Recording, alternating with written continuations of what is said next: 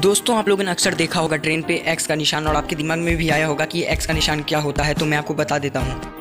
लेकिन इसके लिए जुड़ा रहना पड़ेगा आपको एडवाइस मेनिया में, ताकि मैं आपको सब कुछ बता सकूँ तो चलिए वीडियो करते स्टार्ट दोस्तों, ट्रेन के पीछे एक्स निशान का कारण है कि जब किसी भी ट्रेन के पीछे एक्स निशान होता है तो यह कर्मचारी को संकेत देता है कि यह ट्रेन का आखिरी डब्बा है और अगर किसी ट्रेन के पीछे यह निशान नहीं होता है तो इसका मतलब यह है कि ट्रेन एक आपातकालीन स्थिति में है। मतलब ट्रेन का डब्बा कहीं टूट गया है। आपकी जानकारी के लिए बता दें कि हर एक ट्रेन के पीछे एक्स का निशान होता है और यह हर स्टेशन पर किया जाता है। वीडियो इन्फॉर्मेटिव लगे तो प्लीज़ लाइक, शेयर, सब्सक्राइब। मिलेंगे